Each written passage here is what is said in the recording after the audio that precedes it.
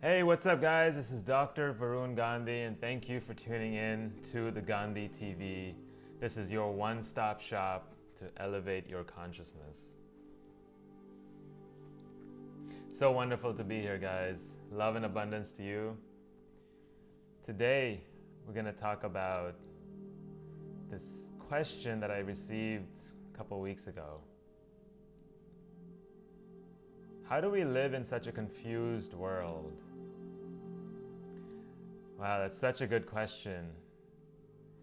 You know, there's so much going on around us that's in conflict with each other.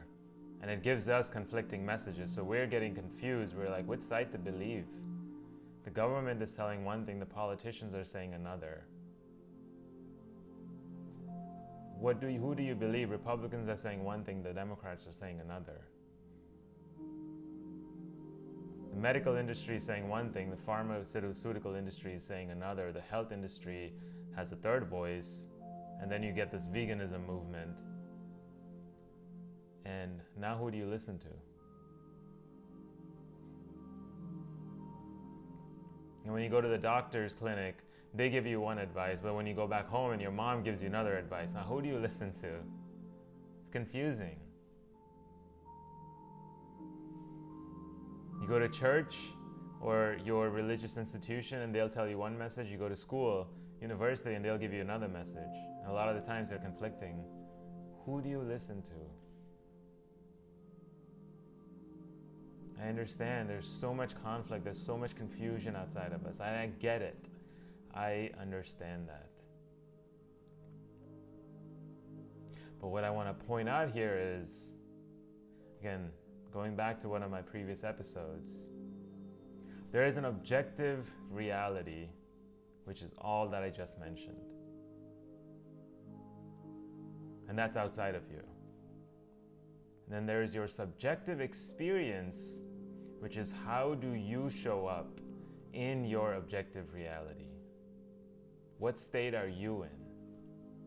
This is the contents of your consciousness. Everything that exists within your consciousness consists of the state that you're currently in. So if you're showing up from a state of confusion, then no matter what this external reality, reality of yours looks like, even if it's complete bliss or peace or war, you're always going to have the same state because that's how you are showing up into your objective reality.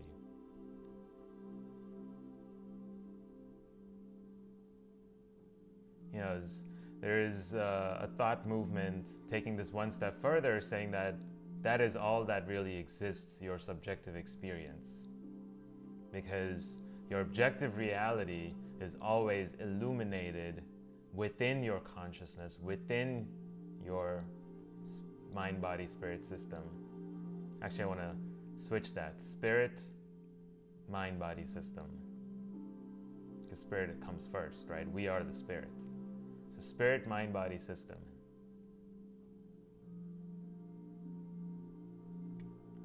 And that's all that exists, is everything inside of us.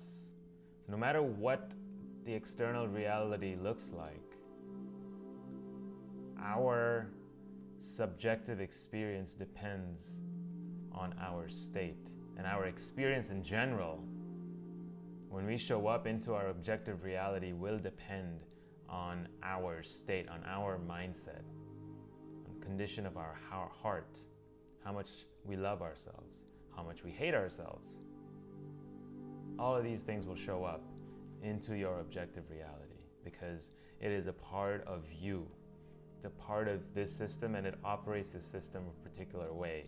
These are your sets of beliefs that you've been conditioned to think in a certain way that has created certain habits that now these habits govern your life and you're living your life out of these habits. So confusion then actually becomes a habit that we have been living out of for so long now that it everything around us just appears to be confused or appears to be confusing us even more. All we see are signs of confusion because we're so focused on the confusion around us that that confusion is actually a habit that we have created inside of our system. So now the confusion actually exists inside of your system, not outside of you. So that's the first thing we have to realize and be aware of when you're feeling confused, that the actual confusion, the reason, the root reason for the confusion is something within you. And once you work on that, and make progress on eliminating some of the distractions, eliminating the confusion, the source of the confusion. Now, when you show up into an objective reality, your world is not confused anymore. You show up from a space of love, you show up from a space of truth, you show up from a space of clarity. Your world will not be confused anymore. You will know your place in this world and you're going to be standing your ground once you get to know yourself, once you begin this journey of self realization, once you begin this journey of loving yourself and finding one way to love yourself every day.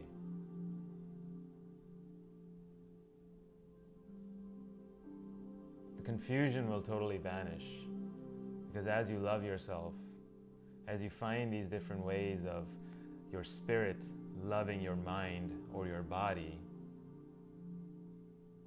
not in a selfish way, but in a selfless way.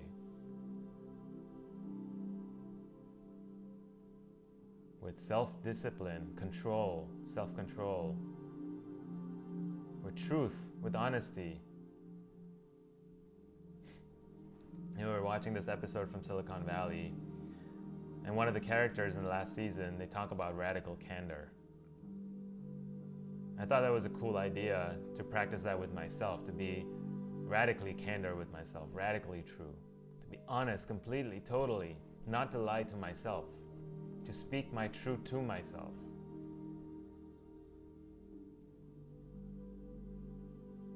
Once these are our foundations on which we build our life on, the world will not appear to be confused anymore. The confusion appears because we don't know our true selves. And we're listening to voices outside of ourselves to tell us which direction to walk in. And when we start doing that, again, we know people have their opinions, so there are going to be conflicting opinions, no matter where you see, no matter where you go, no matter where you research. There's always going to be something conflicting each other. And if you do that, you're not going to know where you stand. And maybe you know where you stand, but you're not firm about it. And so now you're confused. Which way do you go? Do I need a lot of protein or do I not need a lot of protein for myself? Do I get my protein from vegetables? Do I get my protein from meat? You look outside of you and all the sources, they'll tell you one thing or the other. But you have to decide for yourself and come to your own conclusions about certain things. And include other factors like morality, in making your decision and standing firm to yourself. That's the root cause of confusion where we don't stand firm and we're kind of just wishy washy about some certain beliefs.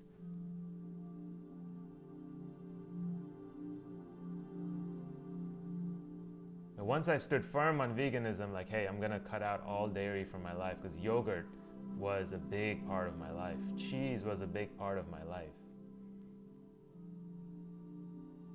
But once I made that firm decision to remove all dairy from my life, to substitute it in different ways if possible, I never looked back since. Now I've been vegan for about nine months. And I don't even think about anything dairy. It's automatically no. Dairy? No. I always check. And even if it's a yogurt, I'm like, oh, I want to eat yogurt, but no, I don't. Because it's not even an option for me anymore. You know, back in the day, growing up, certain certain foods I'd like to eat yogurt with, and the taste of yogurt had been so embedded in my taste buds, and it was connected with those certain foods. So now when I eat those foods, it doesn't taste the same anymore. But I have to control and discipline myself. I'm not eating yogurt anymore, so you're gonna have to do without it. or use a substitute or get accustomed to the substitute of yogurt, coconut yogurt. At that point, the confusion ceased in this debate between veganism, vegetarianism, or meatitarian, or whatever else it may be. I had made my decision that I was going to be vegan. Nothing else outside of me was going to stop me. The confusion in that area just ceased to exist anymore because I made the decision. I showed up, made the decision, and acted on it every day.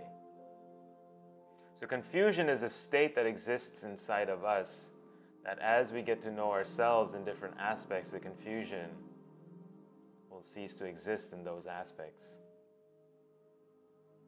So, getting, know, getting to know yourself and where you stand, what your beliefs are,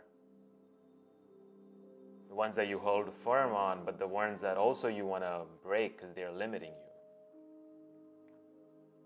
You got to look at both sides of the coin.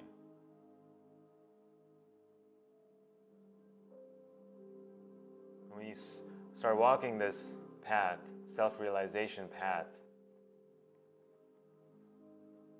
self improvement path, the confusion, the so called confusion that exists outside of you, which is actually just confusion that exists inside of your subjective experience, that will cease. It'll drop.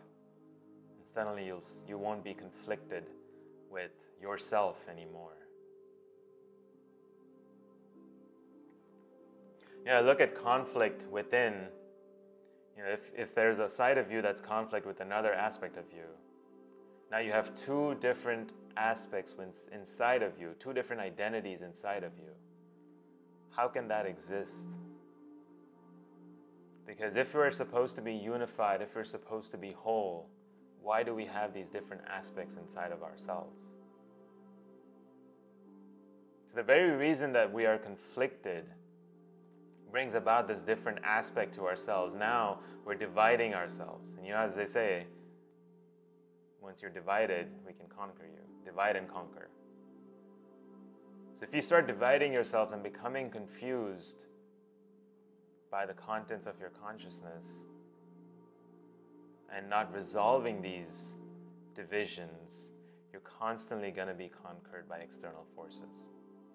Meaning, emotions are going to take over when a particular brand who is who has such a strong subconscious effect on you shows up in your periphery shows up in your vision, even subconsciously or unconsciously. You pick up these signs and then you start acting on it in your physical reality.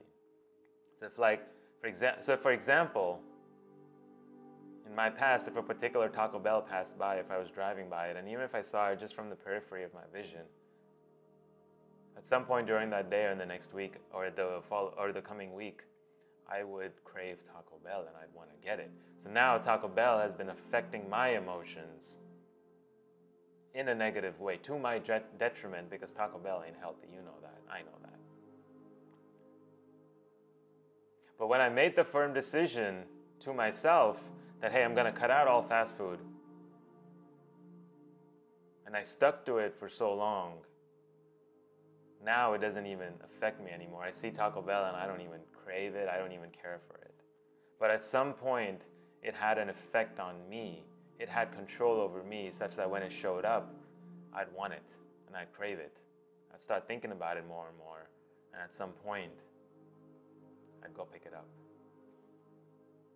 Even though I was conflicted, there was a part of me that said, Oof, I know I'm not going to feel good after this meal, but it's going to taste so good.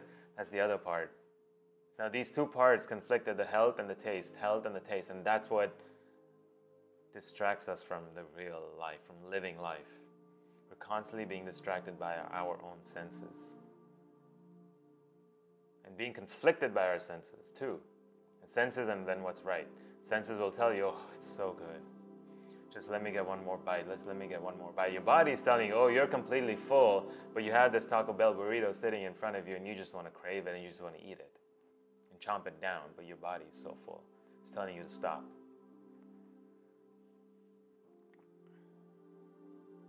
And guess what? We listen to our emotions more than we listen to our body, more than we listen to the, the righteous voice. And so we go ahead and eat that burrito, and then we start feeling sick a couple hours later.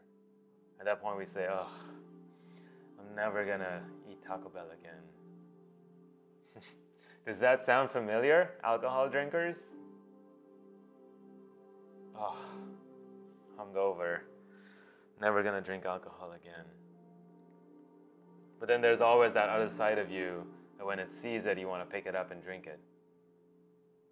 And then the other side, the next following morning, will say, Oh, I'm not gonna drink again. But once you make the firm decision that you're never gonna drink, or you're only gonna drink at certain times in social situations, on Fridays, or whatever your rules may be, according to your lifestyle. And once you make that firm decision, then that confusion ceases to exist. Now you know that once you get home from work, you're not gonna be you're not gonna drink because you only are gonna drink on Friday and Saturday. But then you suddenly have this long, long day at work, and you come home exhausted on a Wednesday, hump day, you want to get this alcohol. You want to just sit down and drink a cold one. Or what do you do? You break your own rule, and then you get conflicted with it. Because a part of you tomorrow is going to chide you. There's this voice that's going to keep nagging at you. Why did you drink? Why did you drink? See, you feel dehydrated. See, you feel your stomach ache. See, this and that and the other. It's always going to be blaming this other side of you that did something unrighteous yesterday.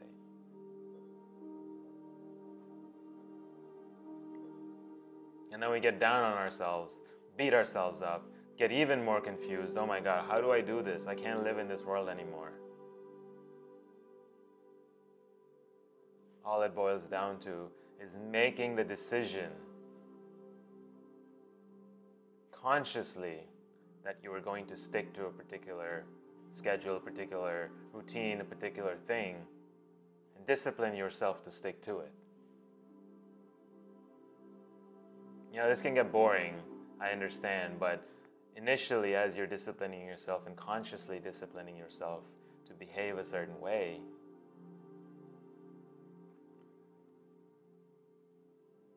it seems unnatural. But after a while, after you repeat this process consciously over and over again, your body automatically takes over and it automatically works it in, works its way into your day. You don't have to consciously act out. It'll just act automatically. At that point, it's not boring anymore. It's part of you. It's who you are. It's your identity. So it can't be boring. Initially, it may be. It may seem like you're forcing yourself to do something unnatural. And the process might take 7 to 14 days to get used to, and 21 to 28 days to implement in your life.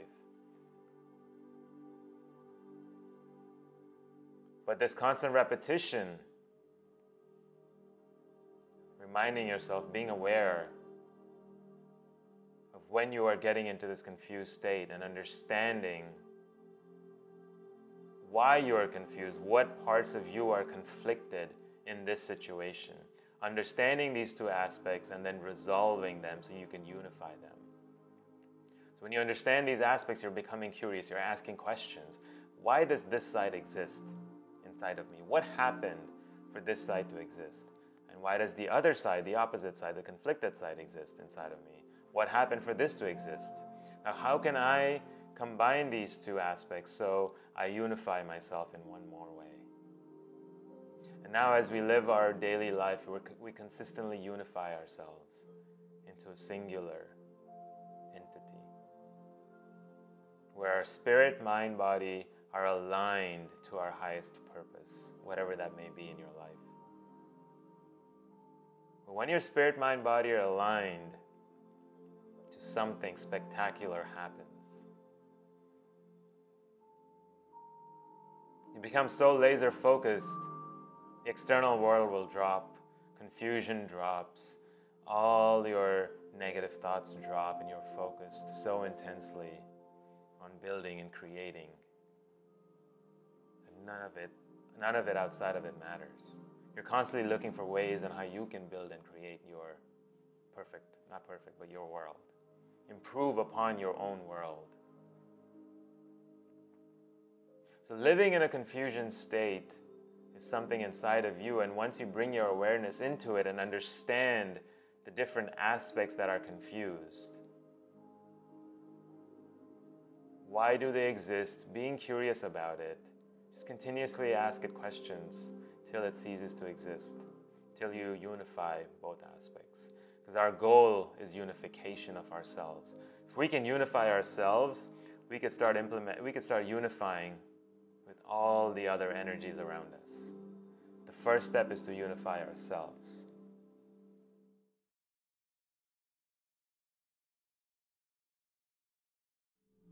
Hey guys, if you enjoyed this episode, please share with your friends. Please like it, please comment. Let me know that you're enjoying my content, or if there's something else I could do to improve, do let me know. Um, you know, if there are any questions you may have, please post a comment and I will answer them in a separate video just for you. So, you know, continue sharing, continue loving, continue with your peace and abundance in your daily lives. And I wish you an amazing day ahead with love, abundance, peace. This is Dr. Varun Gandhi checking out. Peace, guys. Love and abundance to you. We'll talk to you next time.